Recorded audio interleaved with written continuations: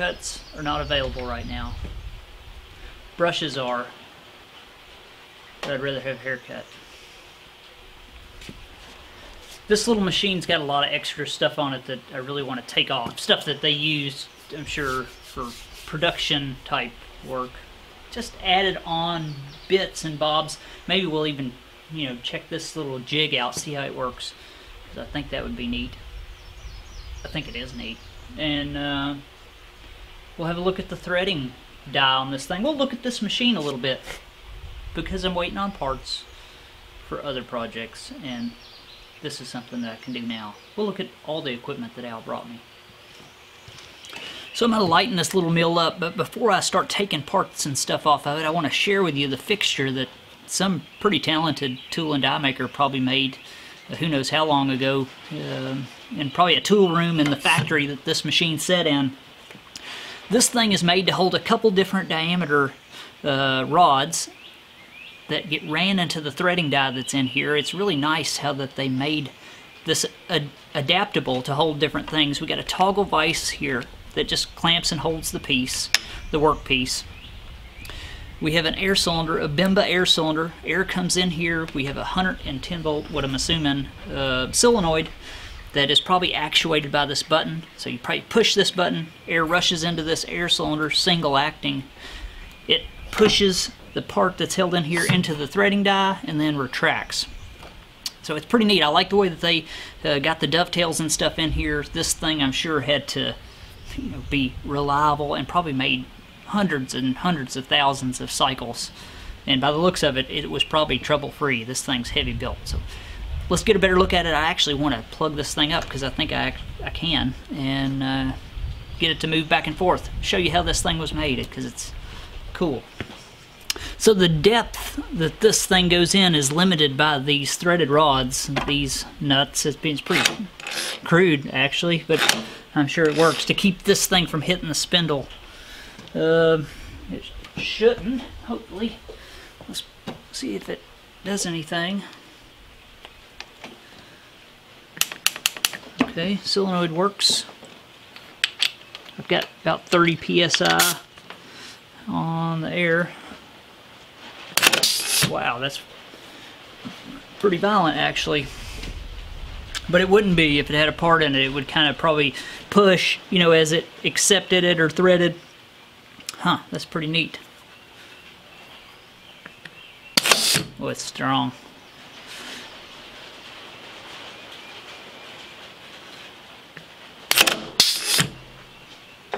So I was looking at how this thing is attached to the table. It's actually keyed as well to the T-slot and then I'm assuming the top of this vise has to come off or the top of this unit fixture has to come off because there's probably bolts that run down through the actual base of this to hold it on because there's nothing external. Pretty pretty neat and looks like adjustable uh, gibs on this thing as well. Let me get you a shot of the back here before I start taking this thing apart. See how they did their dovetails there? They're just socket-headed, recessed socket-head cap screws that hold their uh, their dovetails in and then this air cylinder is only held in by adjustable wedges that push out against those dovetails. So this is adjustable as well.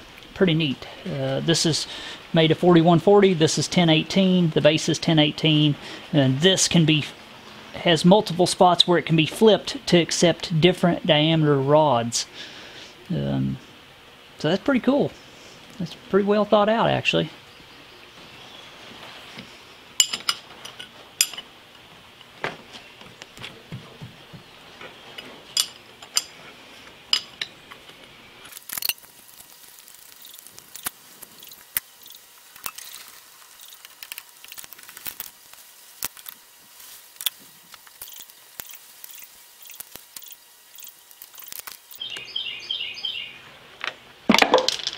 That's too cool.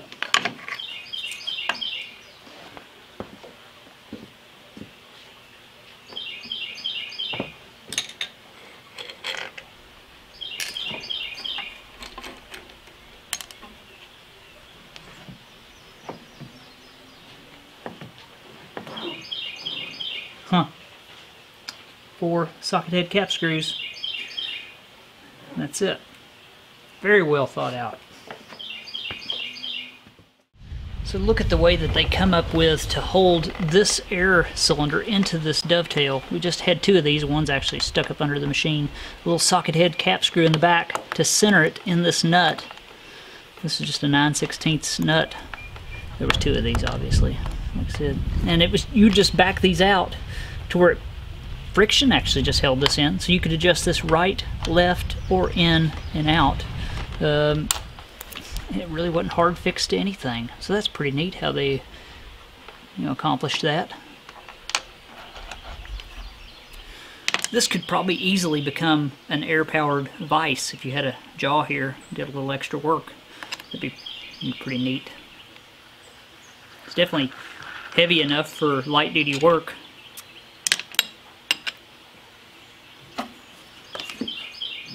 Oh!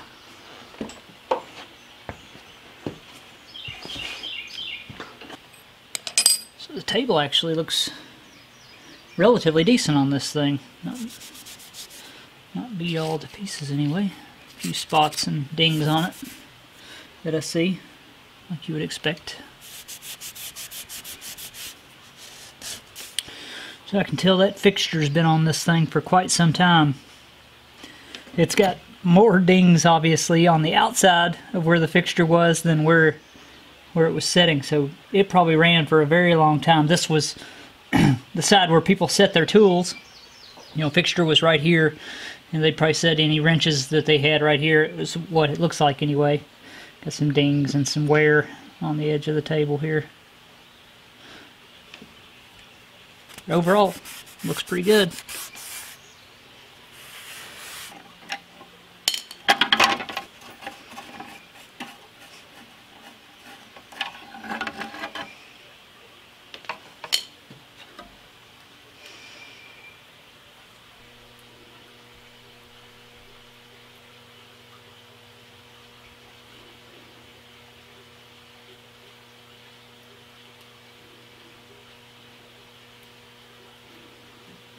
Peanut stopped in to check on my work progress, I guess. So this was neat. I was wondering how in the world the part would come out of here without, um, you know, reversing the spindle and just threading it out. But that moves in and out and engages or disengages these rolls that actually form a thread on the part instead of cutting a thread. They just, by force, uh, displace metal.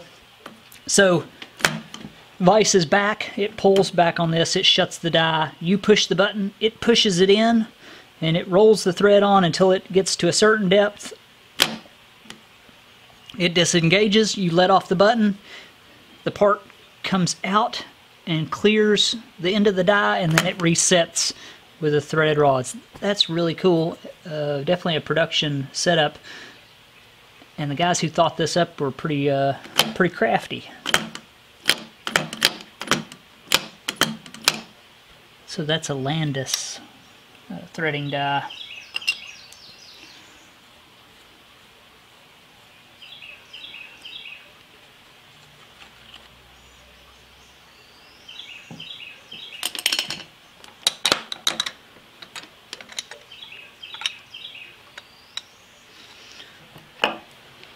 Pins, roll pins.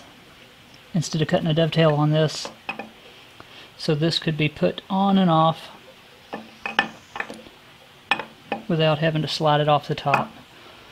Definitely. Uh, these bolts uh, on the ends run through and put pressure on the pins. That's pretty slick. I like the way that uh, these guys thought.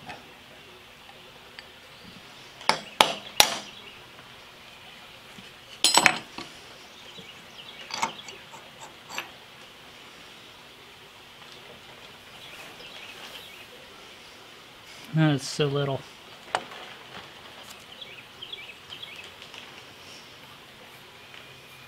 Taper looks real good, it? Spindle.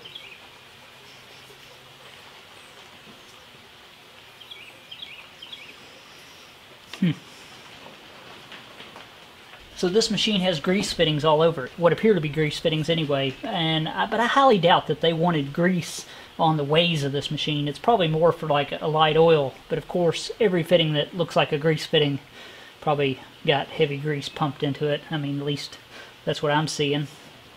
And a lot of backlash in uh, in the uh, saddle movement, but I'm assuming it looks like it's right here in this uh, coupling here. I think that it's not necessarily in the screw. We'll we'll find out. But, and the table only moves, or the saddle only moves about an eighth of an inch, and then locks up hard. All the mechanical stops are off, but I believe what is going on is it has a. I'll get you a shot. It has a power shaft, drive shaft that goes from the back into the gearbox here, and I believe where this thing's set in this position so long that that telescoping shaft is just stuck. At least that's what I'm thinking. So let me show you what I'm seeing, and uh, we'll look into it a little deeper. This here is a powered drive shaft that runs from the back of the machine into the gearbox here. And when I move this back and forth, I'm not seeing it wanting to collapse at all. Looks like it's just pushing back into the machine. And I don't want to try to force it, so I'm going to pull off this side cover and uh, get a little better look at it. Looks like it's full of chips down in there as well. This thing appears as if it was off-white, uh, the original color, like an eggshell or something like that from a few little spots that I've seen. Whoever painted this thing painted over just all kinds of chips and dirt. And uh, you know, speaking for myself, I would I would much rather have a factory paint job that's all beat up than a crappy paint job that's painted over dirt and grit and chips.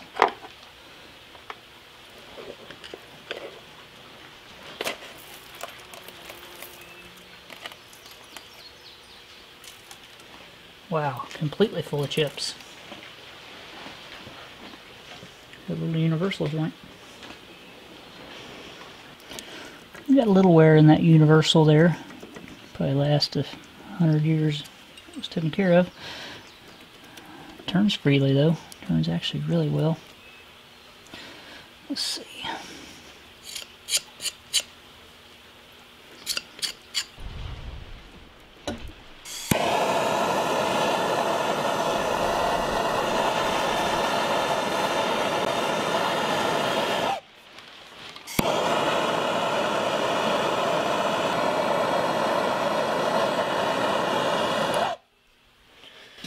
Hopefully that helps. Yep, and it did. That's all it was. Stuck from being sit in one position forever.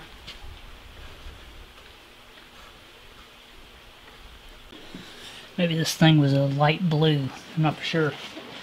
I'd be willing to bet at the time that this thing was made, you could have probably bought a small piece of property for the for the cost of it. That's good. At least that works now. So the one good thing about a machine that was ran with cutting oil, at least for a portion of its life, is that even if it didn't get oiled or lubed directly by somebody, indirectly, you know, it got some form of lubricant on it from the from the cutting oil.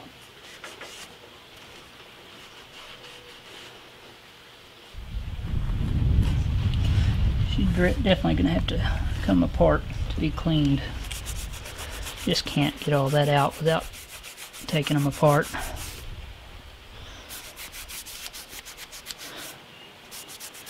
But I'm not seeing anything you know, that really concerns me, just obviously anyway. Nothing that's obvious. So we got a little staining on the ways here, but you know, I'm looking at the part out here that doesn't get used versus the part right in here that is always in contact almost with the saddle. And uh, I'm not, I can't detect anything by, by feel anyway. No major scoring or anything. That staining won't hurt or anything. Uh, so it's kind of promising, I guess. You know, obviously it has some dings and stuff that'll have to be stoned off. It may be a decent little meal. So that went from not moving at all to actually moving very nicely. Once you get a good handle and, you know, all the guts cleaned up in this thing, maybe just fine. At least that movement anyway. Still a lot of parts left on this thing to look into. I need to get the proper handle for this thing. Looks like it's just a half inch drive, I think, or close. The handle, or the table moves great.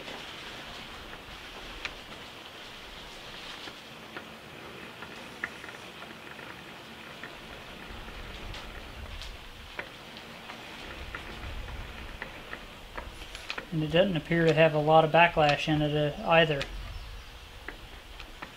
Even though you're having to turn it through a gear train, it's not hard to turn.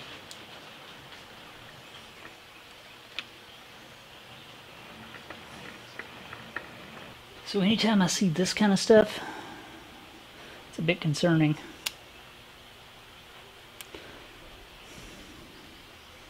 But, you know, who knows?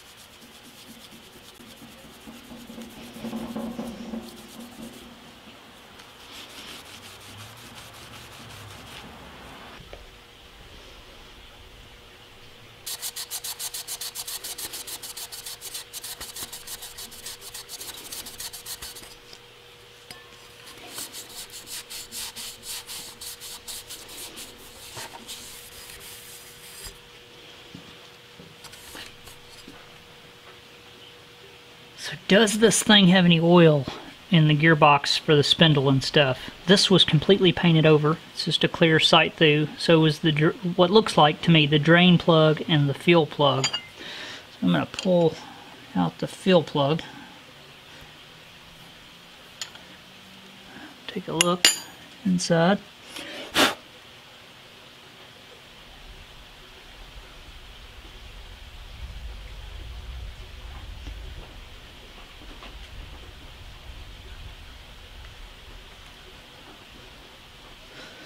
Well,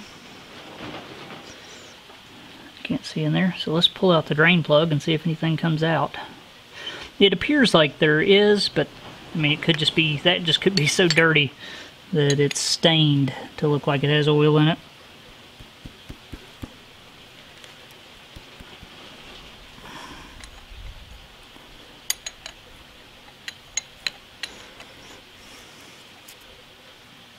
I hope it does.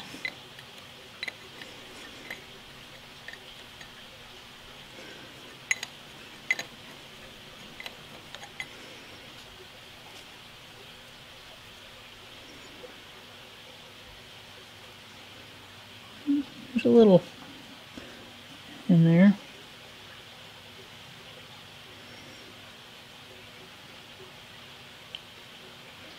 Eh, maybe it does. Okay, well, I'm sure it's been a while since it's been changed. Long before it was painted last. We'll flush all that out. Put some fresh oil in it.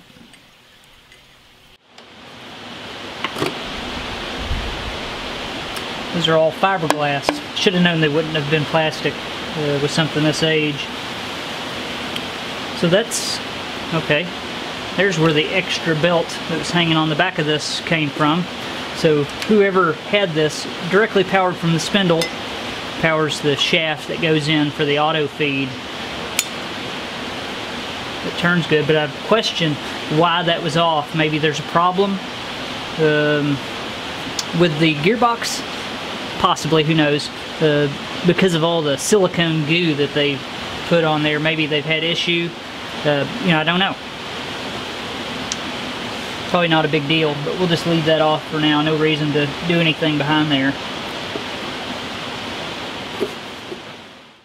So looking into this electrical cabinet a little closer, other than the quart of oil that was in here, I did notice that this center motor starter is disconnected for some reason. Now this one here has much heavier wires coming out of it, so I'm assuming that this goes to the main spindle motor, and this either goes to the coolant pump or to the auto traverse motor that's on the table. It has three electric motors on this uh, on this machine. Now, I'm assuming that this goes to that auto traverse motor and that it's disconnected for a couple, maybe one of two different reasons, maybe several actually. They either disconnected it because they didn't want the operator to accidentally hit it and lose the position of the production jig that's on here, or it has mechanical issues and they didn't want to, you know, it to be engaged, maybe causing further issues. Now this thing does have all that silicone goo wiped around the gearbox, which is not very confidence instilling, but I'm going to hope that it's just because you know, they didn't want the operator messing with it. At least the service guy did label the connections red, white, and blue, so I can connect these back up easily and not have to guess. Uh, I would look at the, the schematic, but it's a little soaked.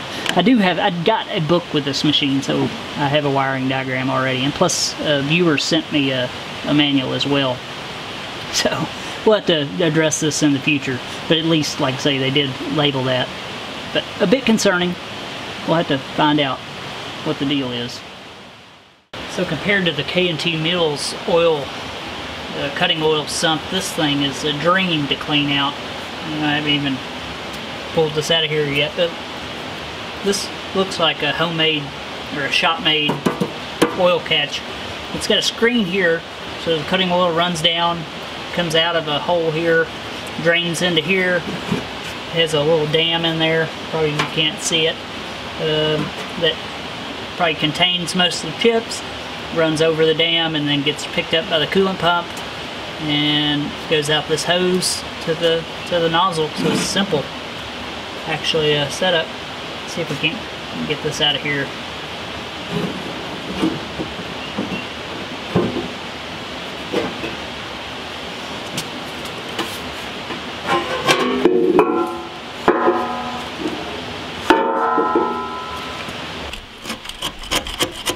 I'm just trying to get some of this loose stuff out of here so this machine doesn't continue to shed on the floor uh, every time I move something until I can really you know dig into this thing.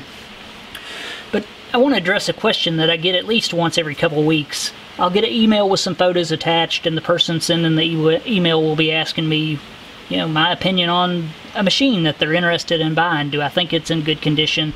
Do I think that it's worth the money? In most cases I can't tell you whether you know the machine is worth the money or not because really that's dependent upon your area and the availability of the machines. And you know to one person a machine's worth more than it is to others so it's hard to hard to say. But what I can tell you is that don't focus all your attention especially if you're at an auction where your time is limited. You know most of the time the machines aren't plugged up you've got to make a decision right then you know whether the machine's worth dropping your hard-earned money on or not so don't focus all your attention on on is it dirty? Because these machines were bought with production in mind and if they were used at all they're going to get dirty. That's just the nature of them and anybody can slap a paint job on one that makes it look like a turd but underneath that it may be a good machine. So focus all your attention on the machine surfaces. Does the table move all the way from one end to the other without binding? Is it tight you know with the table in its most used position like in the center you know, focus on stuff like that. Do the lead screws have more slop in one area than the other? You know, that'll tell you whether that's a better uh, indicator for a machine being in good condition than it dirty because those don't always go hand in hand. A dirty machine can be a good machine, but a clean machine can also be a wore out machine. And it's a lot easier to clean one up, you know, just appearance wise than it is to try to scrape one in. You, know, you don't have to be a machine rebuilder to clean one up. So don't focus your attention on the appearance necessarily. Focus all of your attention on the machine surfaces because in the end that's what's going to matter. Uh, you don't want to buy a boat anchor. It's always a possibility, but uh, you know it's more important that it be in good mechanical condition than in good uh, you know in good appearance. That's just my opinion. So if you've got limited time, focus it on the machine surfaces, not on you know is it dirty or not every year that goes by, these machines get harder and harder to find. You know, they're obviously being phased out and have been being phased out probably for the last 50 years. Uh, the modern CNC machines can do what this thing does, except for 10 times faster, and you can still get parts for those things. Uh, so, you know, if you're if you're wanting a machine like this, now's as good a time as uh, probably it's going to get in order to find one. You hate to see them you hate to see them go, but you know, the fact is that a lot of them every year get sent to the scrapyard. And probably in the next 50 years, the only place you'll ever see these things will be in somebody's home shop or in some museum somewhere.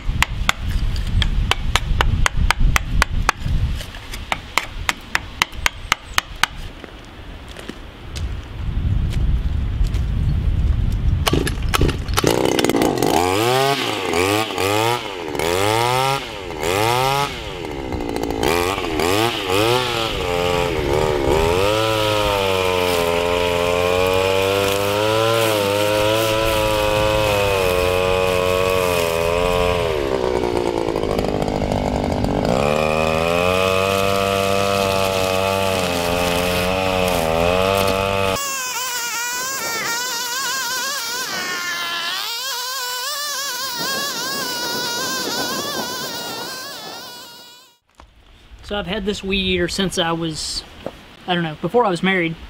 So probably 18, 18 years minimum. It's a Shindaiwa T uh, 231. I bought it, I think, for $15 at a yard sale. Guy said it didn't run. I took it home, put some gas in it, and it has ran ever since. Now I have changed the fuel line, obviously, in all that time. Probably, I don't know, three to five times. Changed the spark plug a couple times in it, but that's it. Uh, you know, when a piece of equipment is good, this is definitely not a throwaway weed eater. Uh, where I grew up as a young guy, there was nothing but horse farms for miles and miles and you would see those guys out there weed eating and they'd either be using Stihl weed eaters or they'd be using these Shindaiwas and I always assumed if they were good enough to run miles and miles of fences that they'd be great for a regular yard and that's definitely been the case it seems like these days you know you buy a weed eater at a box store it runs for the season and then it doesn't start ever again and you buy a new one the next year but that's not been the case with this thing, that's for sure. I like to run these aluminum disc heads. This is actually a Shindaiwa head. And I like to run the heaviest string, or one of the heavier strings. This is a 105 thousandths diameter square string. I just prefer these heads, even though you have to stop to restring. If you run that heavy string, you don't have to restring that often. Uh, but I prefer the lighter head because it's less fatiguing, you know, after an hour of weed eating. Um, you know, and otherwise you've got a spool, uh, auto feeding spool of head or of string that you're having to pack around on the end of this weed eater. And uh, I find this stuff lasts for a very long time, even though I have a lot of rocks and stuff that I have to weed eat around and fences. So I figured I'd share that with you. It's been a great machine. And if you ever can pick one up, I don't can't speak for the new versions, but this thing has been amazing.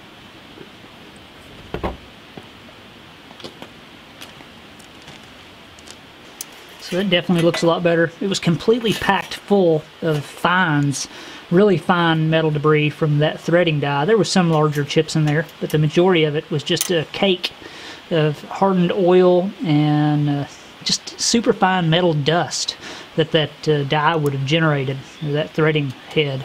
Uh, just got in there, you know, was settled and became a cake, actually. Looks a lot better. I'm surprised this is not brass. Uh, somebody may have made that, and I'm I just suspect that originally it probably was brass, but I, I don't know that. That's just an assumption. Anyway, much better than it was uh, for now. Anyway, let's inspect this handle, see why we've got so much backlash in it, and see if we can maybe address that. I'm just interested to see, uh, you know, what's the deal with all that backlash. Is it wear or is it just an adjustment issue? So we've almost got a half a turn, at least a good third or more uh, of backlash in this. But you can see it's got some play there. I'm sure there's a thrust bearing in here um, and a nut here. Kind of strange looking. Let's see if we can take this apart and and get that out. I know it's going to have some. I mean, that's just the way it goes, but hopefully not that much.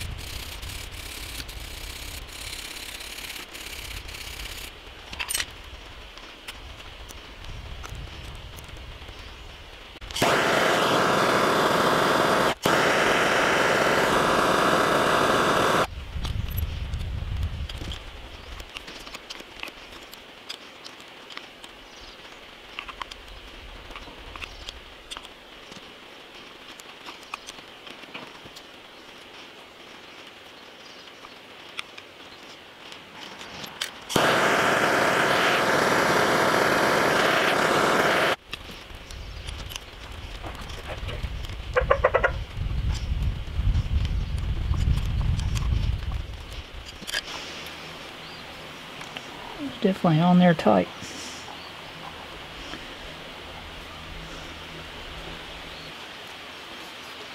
Okay, so that nut sets the backlash. Uh, there's obviously a, uh, thrust bearing, I think, back in here. At least I believe I've seen one on this lower handle. It's probably made made the same. So this is what sets your uh, tension on your thrust bearing behind here. So maybe that's all it was. So that was just loose. But I want to look behind here anyway.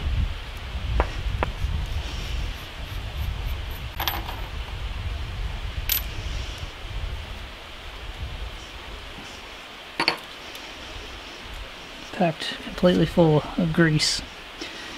And the bad thing about grease is that it holds all sorts of all sorts of metal particles in there as well.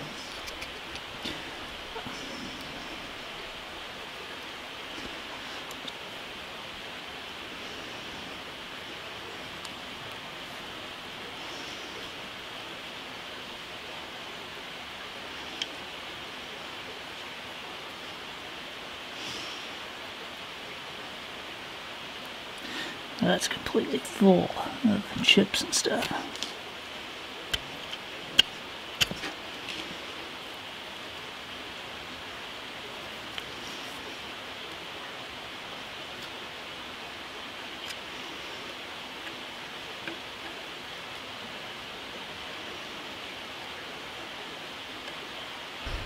Check that clump of grease out. All of that just to lube what appears to be just an extremely small thrust bearing. So there's that little thrust bearing that all that grease was for. Now let's pull that out and clean it all up.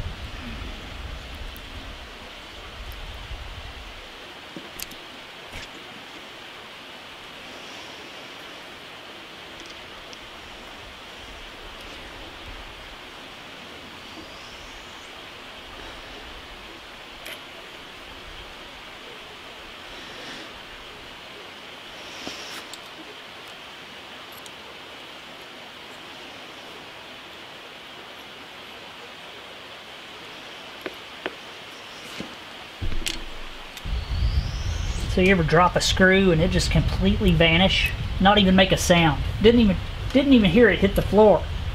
I was putting one of these three screws back in, and yeah, I take this those out to clean out around there really good. Because I'm putting this thing back together, I'm not going to tear into it too deep.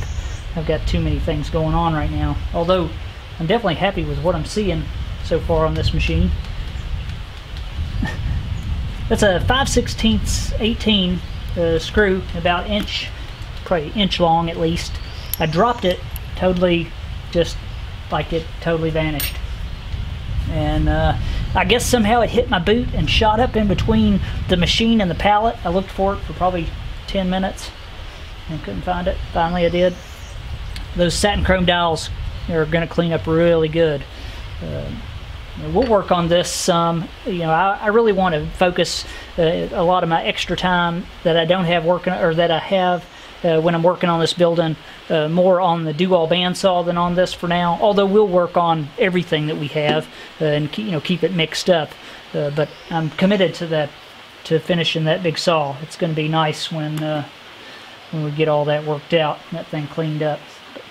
As far as this machine goes, I'm really happy with what I'm seeing. Uh, nothing that I've seen is a deal breaker as far as man, this thing's clapped out or you know just completely wore out um, I think with a little care, uh, we can really make a, a nice machine out of this. Most likely, you know, we could still run into catastrophic issues, but uh, you know, I haven't seen them so far, and that's good.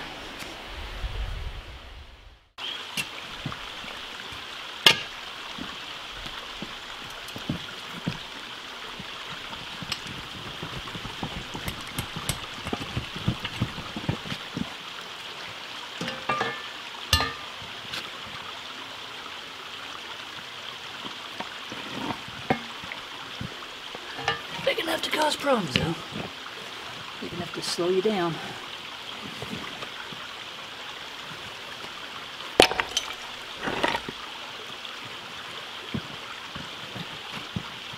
So I'm in the side of the shop here, uh, the upper portion where I'm going to be putting my drains in. Last week I dug all this out so I could get access uh, back here with some equipment. And I'm looking at this where I dug out. You know, this had access years ago, I'm sure, and over the years, dirt and stuff has come off this hillside and filled this in. And I think that if I don't do something back here in this corner, or at least probably the back third or half of the shop here, the dirt's going to continue to just wash down this hillside and fill this right back in. It's just going to be a constant battle uh, for me to maintain access around through here. So what I'm thinking is possibly a small retaining wall, you know, dig this back a few more feet, concrete retaining wall, at least the back half, and uh, I'm hoping that possibly that will hold this back. You know, I can gravel this well, and with my drains in here, hopefully this will stay dry and give me good access. Because right now, this is just a swamp, and, uh, you know, you can't get hardly anything back here. So it has to be dried up. It has to be shored up, uh, or else, you know, this is every time it freezes and thaws and rains, this stuff's just going to continue to push in like it has for, you know, the last 30 years. And eventually block off access. All that dirt and stuff will clog up all the drain, any drain that I put in here. So unless I do something, you know, to keep this pushed back or held back, you know, it's just going to continue to cause me problems. So I'm thinking, you know, small retaining wall here, uh, hopefully in the near future. It needs something anyway, at least on this back half. Up here, like I said, it angle gets much less and it's not a problem. But I don't know. We'll see. Something's got to be done back here, I think. So what I did here helped a lot. I mean, helped some. Still got a ton of backlash there, which is in the nut. And it looks like it's adjustable, but I'm not going to try to tighten it up until all that stuff's taken apart and cleaned up tightening up dirty machine surfaces or tightening up the gibs on a dirty machine is not a good idea. Um, because it has slop in it, you're going to have dirt and grit in there, and then you tighten whatever it is up on that dirt, and you just embed it in the screws and in the ways and cause yourself a lot of a lot of problems. So this thing's got to have a hardcore cleaning before anything, you know, is adjusted on it, obviously. So this machine looks really promising though. I'm not seeing any major scoring on, well, any scoring that I can even catch my fingernail on on anything. So you know, maybe it's a good machine. we'll see. Obviously there still could be a ton of stuff wrong with this thing, but just my general inspection that I've done on this uh, is is promising. So I'm op I'm optimistic about this machine. A lot of people were interested in this machine. Obviously, it is a good size for your average home shop. It's not got a footprint like the big K&T mill. They're not as hard, near as hard to move. And 30 taper is plenty big enough to do the majority of stuff that most of us want to do. So it's a it's a popular size machine, actually. So I look forward to getting cleaned back up and getting it back in service. But before I really do this, I want to focus the majority of my attention on the DoAll bandsaw because I've already got it tore down and I don't want two machines tore down and a shop that's tore down. Because I need walls because they are better than tarps. My buddy Al should be showing up you know, here soon. We're going to dig the ditches for my drain long as it's dry enough to do. Maybe peel back that hillside a bit for a possible retaining wall and then dig my foundation. It's still got to be done. Uh, not a lot has happened in here in the last week. I've been waiting on a few things. I've been working on the, uh, the erosion issue beside the shop. I've been working on that some, which is just moving rocks, so it's not all exciting to see. But I'll show you when, when I make further progress on it. But that's the majority of work that I've been doing is you know working on it. So we'll see. Still a ton to go, but uh, you know made good progress on this shop, uh, considering I've done it all myself almost. Uh, but with all this going on, you know, it's almost the way it has to be, really. Everything's pretty much shut down, unfortunately. It's just the way it is. So we'll see. Hopefully, got drawings. I got drawings from my engineer on the foundation, so that's good. Um, I've got a plan, and maybe in the next couple weeks, it's available, you know, maybe concrete will be showing up for the footer and then uh, the stem wall. So I'm excited. So thanks for watching, guys. I really appreciate it. Start, stop down in the uh, description of this video if you want a Peanut the Squirrel mug or sticker. Uh, a few people bought them last week, so it's nice to know they're floating around out there. Uh, and I'm not the only one that owns one. So that's it. Thanks to my viewers, patrons, and subscribers. Hope you guys enjoyed this uh, little uh, dig into this machine. If you need anything, send me an email. Click on my little guy to subscribe to the channel. Thanks to anybody who supported me on this project. So that's it. Thanks for watching, guys, and I'll see you next time.